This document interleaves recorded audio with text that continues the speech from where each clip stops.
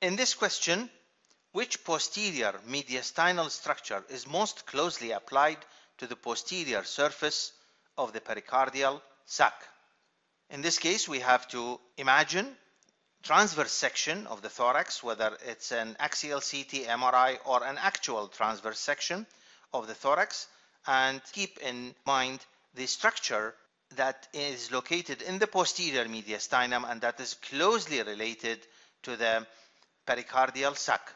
Immediately lies immediately posterior to the pericardial sac. This is the left atrium, which forms the base of the heart, the posterior surface of the heart. And behind the left atrium look, is located the oblique pericardial sinus. And behind the pericardial sinus immediately is the esophagus. So this is the esophagus behind the oblique pericardial uh, sinus.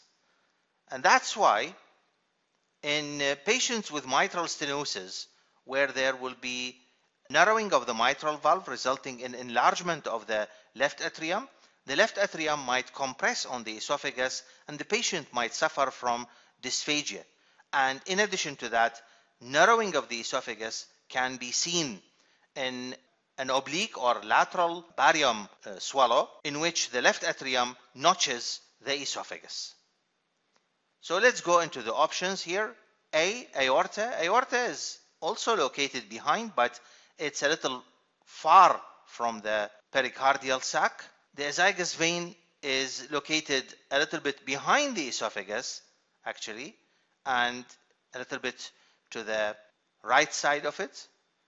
Then the thoracic duct. Thoracic duct is almost located in the same situation, posterior to the esophagus.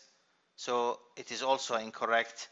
The trachea, at this level, we don't have the trachea because the trachea already has already bifurcated at the level of the sternal angle. So the trachea will by no means be related to the posterior surface of the pericardial sac. And again, the correct answer is the esophagus.